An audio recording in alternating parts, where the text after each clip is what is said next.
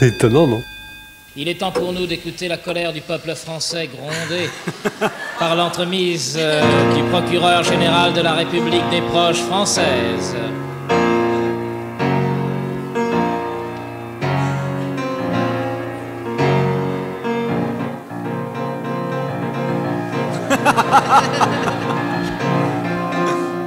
Ça, c'est de la musique chapiteau, t'entends?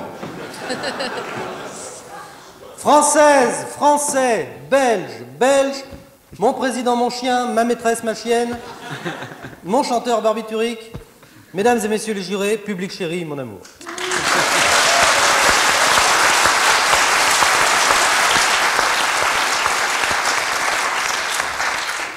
Soporifou, Barik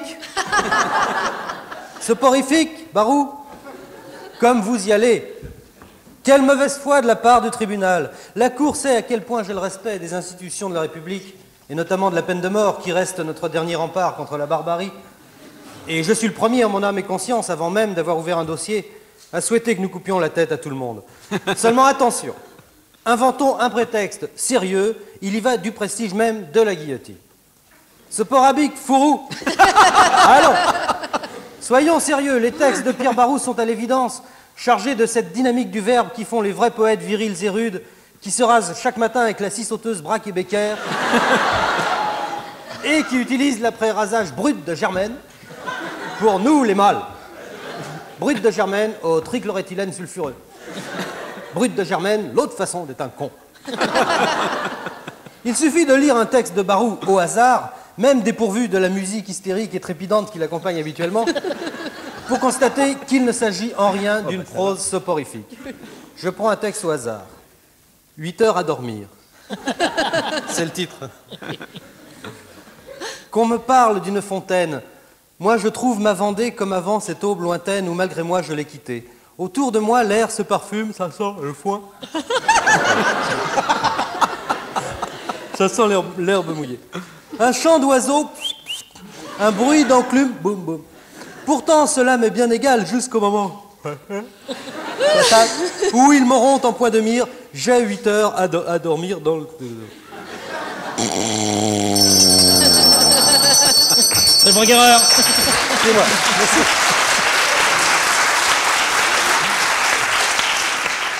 Soporibi, Farouk? Non Ah, mais non La première fois que j'ai rencontré Pierre Barou, mesdames et messieurs les jurés, c'était à l'occasion du fameux gala de l'Union des artistes, dont nous parlions tout à l'heure, en 74 ou 15, je ne sais plus. Je rappelle à l'intention des nuls et des non-entravants qui nous écoutent par milliers tous les jours que le gala de l'Union est organisé chaque année à Paris au profit des vieux artistes dans la merde.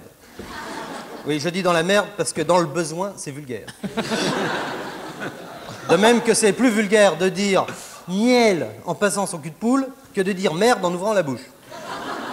C'était un message personnel à l'intention des pédants multispires et des puants à gourmettes des salons du 16e qui s'imaginent qu'il suffit de péter sans bruit en admirant Gauguin pour être distingué et qui croient que Rabelais c'est un arrêt d'autobus.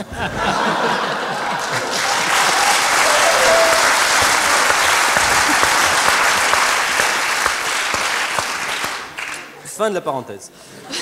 Ce gala de l'Union permet à des artistes de la scène ou de l'écran de s'exprimer dans des domaines ou des activités scéniques ou acrobatiques qui ne sont pas les leurs habituellement. C'est ainsi qu'on a pu voir Vittorio De Sica en Monsieur Loyal, Claude Brasseur dresser des fauves, Raquel Welch jongler, Sheila chanter, etc. etc.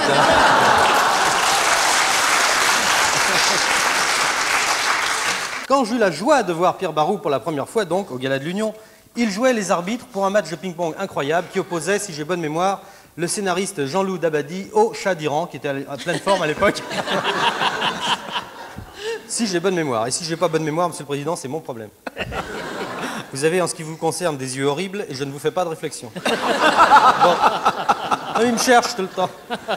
Ce fut un fort beau match de ping-pong. Pardonnez-moi mon émotion, mesdames et messieurs les jurés, mais à ce souvenir, mon cœur se serre en pensant à la petite Faradiba seule au monde depuis que le petit chat est mort.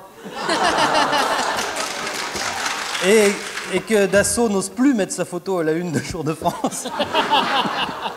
À la place, il a mis la mère Comédie avec ses gros nichons, c'est dégueulasse. On murmure que la pauvre Farah va refaire sa vie actuellement. Elle va épouser Soraya. Laisse bien raisonnable.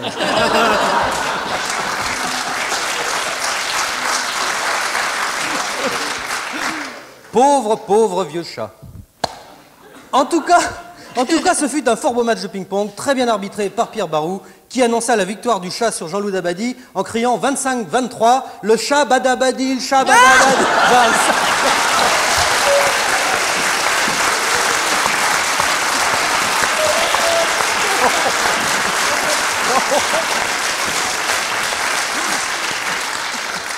Soporabic, Fourou, non. Enfin, un peu quand même. Un jour, c'est là, c'est dur. Je l'ai entendu chanter en duo avec Moustaki. La tsetse du Pirée. Ce jour-là, j'étais assez réveillé et j'étais même énervé puisque j'étais à bord du Titanic en train de couler. Mais dès que le commandant eut mis sur le tourne-disque la Shabadabada du Metec de Barou et Moustaki, je me suis endormi dans mon gilet de sauvetage. Il me revient d'ailleurs que je fis ce jour-là un rêve étrange et pénétrant par simple capillarité grâce à Calme-Olive, la crème hydratante des stars qui calme aussi les pruneaux. Dans mon rêve, dans mon rêve, je somnolais sur une plage de sable fin quand vint vers moi une créature de rêve, comme on en voit euh, dans les rêves. Elle soufflait dans une corne de brume, comme on en voit euh, dans les brumes, de façon démagogue, comme on en voit Oui, non. euh, un peu partout. Tout cela, je sais, est bien étrange, mais c'est un rêve, et les rêves ne sont pas jolis, ils ne sont pas logiques, sinon les officiers supérieurs rêveraient aussi. Mais enfin bref, à part ces quelques anomalies oniriques, la fille d'un blond superbe avait l'air normal. Elle avait trois jolies jambes longues et fuselées. Elle s'allongea près de moi sans rien dire et se mit à feuilleter le catalogue des trois cuisses. Qui êtes-vous, joli tripode, manquérige et légamment Je viens des brumes du Nord, me souffla-t-elle. On m'appelle la terreur des filatures. Ah, Dieu me titille sur saute-je. La terreur des filatures, celle qui fait si peur qu'on la redoute à Roubaix.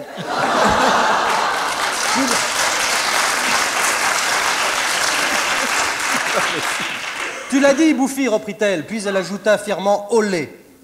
Pourquoi ajoutez-vous fièrement olé, me renquéris-je élégamment, vous qui êtes de Roubaix J'ajoute fièrement olé, dit-elle, parce que j'ai du sang espagnol. Mon père était trépied dans une tréperie bretonne de Séville. Mais j'ai soif, bel étranger. Mes reins se ratatinent et mon foie se dessèche. Bois, belle Andalouse, m'écriai-je en lui tendant ma gourde d'eau fraîche. Bois pour éliminer. Un foie, deux reins, trois raisons de boire quand t'es de Séville.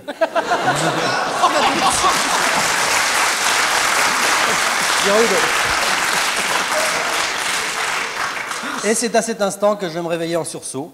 Du Titanic, il ne restait que quelques planches qui clapotaient sur l'océan en faisant des ronds dans l'eau, comme disait Michel Legrand. Oui, monsieur le président, je suis l'un des survivants du Titanic. Je sais, c'est dommage, je sais, j'ai complètement d'accord.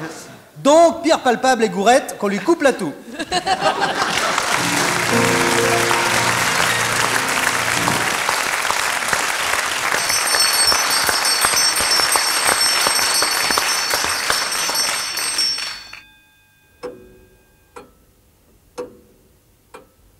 C'est étonnant, non?